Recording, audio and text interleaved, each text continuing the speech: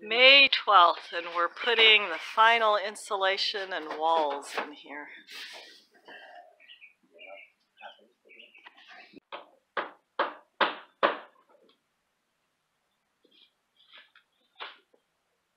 Nolan is putting foam board insulation up on the rafters and the birds won't be able to reach it.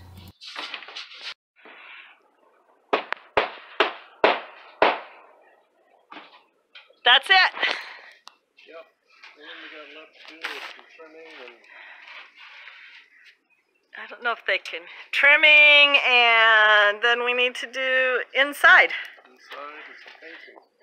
We need to put up roosts and nest boxes. As you're outside working um, on coops, we have been trying to take some of our plants here and uh, for instance, these are little tomatoes that need to be replanted.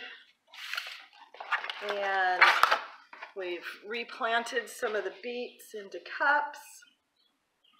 I have a whole tray here of zinnias and they look so great in here. I'm not sure if we will, we'll probably see how many cups we have and try to replant some of them too.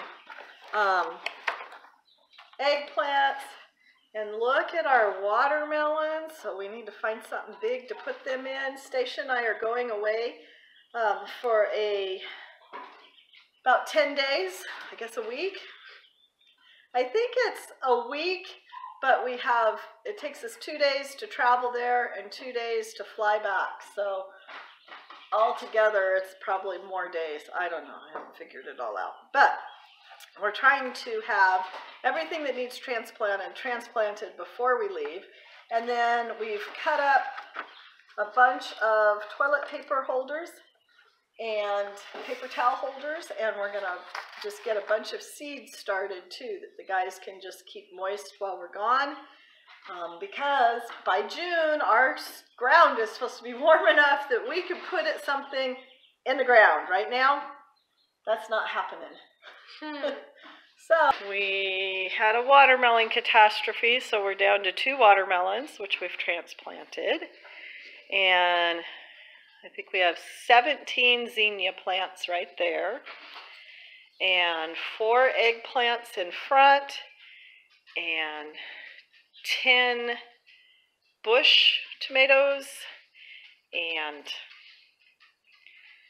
10 beets and I think there's 12 um, cherry tomatoes.